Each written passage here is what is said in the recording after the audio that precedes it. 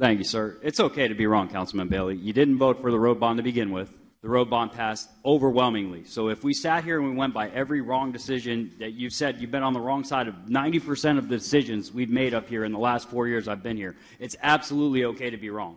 We moved you to 42 because you like the, we want to bundle this. You did go with the maintenance thing. We wanted to get ROI. We added the entire northeast section. Okay, this all started at a $250 million project. We couldn't do it with 150 million. A couple of months ago, we had our public works director up here saying we absolutely 100% could do every road. Why? Why the no? Why the arguing? Why not just, okay, go get it, no problem. Yes, once, yes, just one time. Hey, road bond passed. Anderson, you guys are leaving. Absolutely, go study it. I mean, why is it every single time I got to be better than you? It has to be a no. You guys cannot have it. Absolutely not. I mean, even to put it on the ballot to let the residents vote on it, you said no.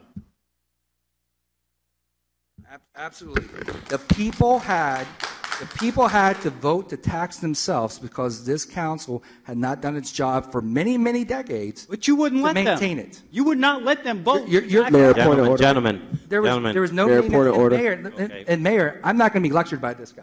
I'm Mayor, sorry. point of order. You know why? Every single one of you guys know why. I'm not going to sit there and be lectured by him. So, Mayor, call the question. Look, call, okay, I'm gonna call it, okay, because if not, the, it's gonna become argumentative.